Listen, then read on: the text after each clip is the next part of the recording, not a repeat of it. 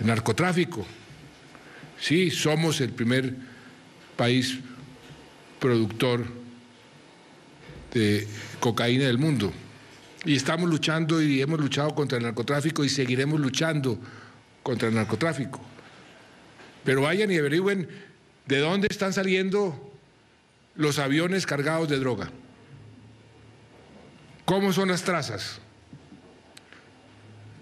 De manera que eso es lo que tenemos que eh, trabajar juntos. Y esto, estos problemas solo podremos combatirlos con la acción decidida de los dos estados.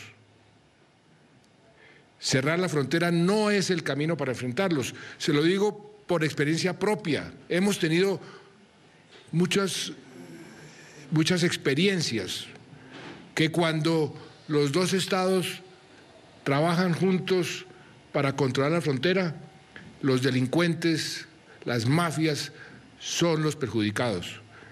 Cuando hay fronteras cerradas y los dos estados no colaboran, las mafias hacen su agosto. Es el, el ambiente más propicio para que sus negocios ilícitos prosperen. El cierre de la frontera con Venezuela no es culpa de Colombia. Y cada día es más claro que obedece a otros intereses. En, en mi radar, que utilizo en nuestras relaciones internacionales, siempre me he movido